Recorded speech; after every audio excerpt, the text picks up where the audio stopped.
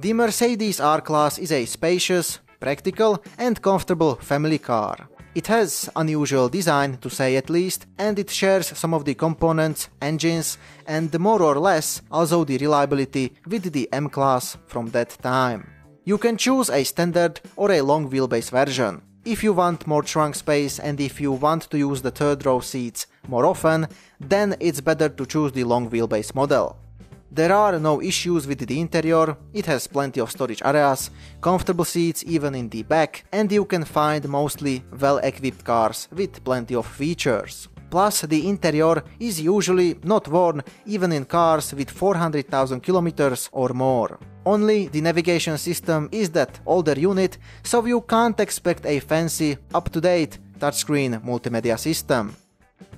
With the proper maintenance, this Mercedes can reach 300,000 or 400,000 kilometers. But generally speaking, it really is better to avoid the early production cars. Mainly because the models made to 2007 or early 2008 do have more often various, usually minor, electronic and some other issues.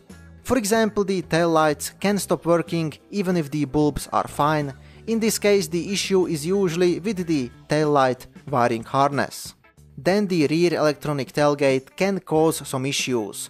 It's either not working at all or it just can't open or close properly. Sometimes the latch is faulty, sometimes the hydraulic lifter pump, and sometimes the issue is in the control module or in the wiring harness. Interestingly, occasionally even the dealer can't diagnose what exactly is wrong with it.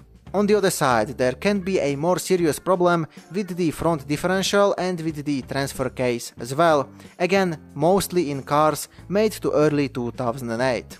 But some say that it affects the newer cars as well, although not that often as the older models.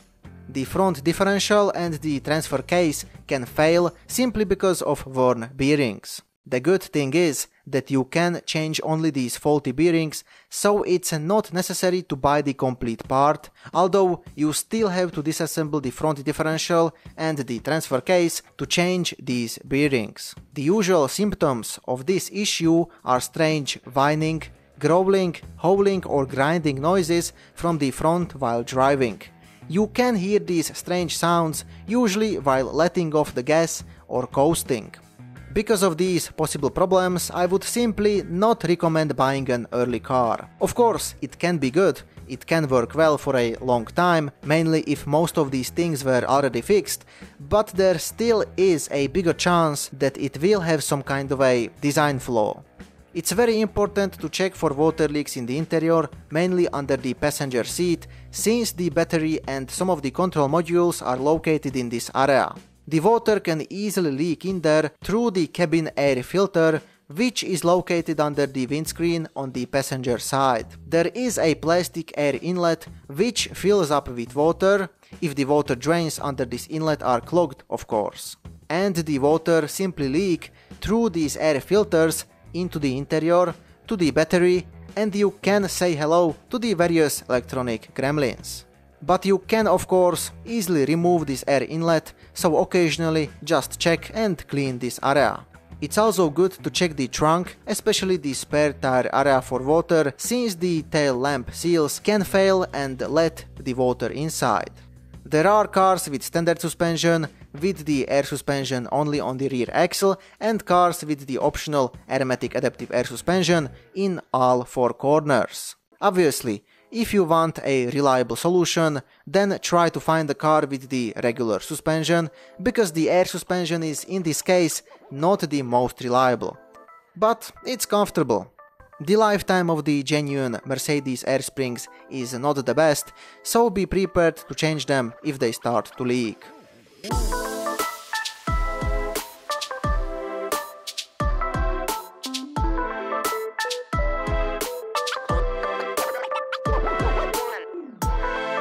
From the petrol engines, the most reliable is the older 5-liter V8 with the M113 engine code, which was available only in the early production cars. The other engines are not that bad either, but there are two main possible problems which can occur on these newer units. The first is the well-known balance shaft sprocket failure, which can occur mainly in cars made to 2007, but also on some of the early 2008 models. Because of this, the timing chain can fail, so resolving this issue can be really expensive.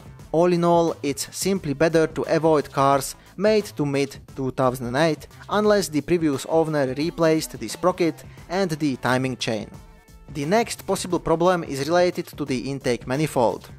Basically, a plastic arm on the outside can break, or sometimes the plastic flaps inside the intake manifold can break as well, causing misfires, loss of power, and eventually an illuminated check engine light.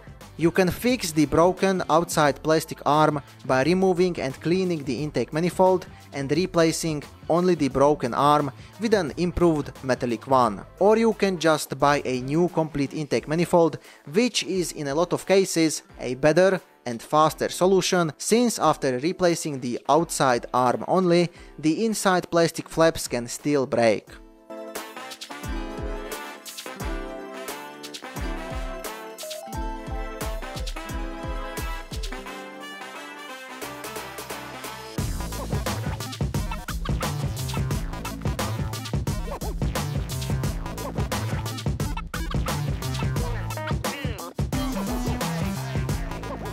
All the engines are equipped with timing chain which can be worn after 250,000 or 300,000 kilometers, so I would be prepared to change it after this mileage point. This Mercedes can be equipped with the 7-speed automatic gearbox only. Definitely check it properly before buying and change the oil in it, because there are numerous cases when the conductor plate failed but there is no need to replace the whole transmission because the conductor plate itself can be repaired for a reasonable price. It's also good to check the power steering fluid level. You can access the power steering fluid reservoir by removing the plastic engine cover. Most of the time, only the reservoir gasket is leaking, but it's good to change the whole reservoir as well because it has a filter in it and of course in this case it's good to change the power steering fluid too. And keep in mind that the lack of power steering fluid can easily destroy the power steering pump which is expensive.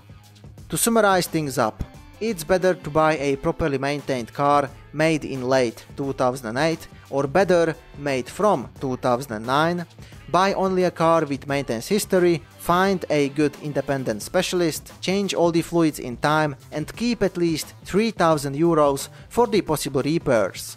As usual, check the car properly before buying and if you have personal experience with this car or more information about it, then you can write it into comments. Thanks for watching!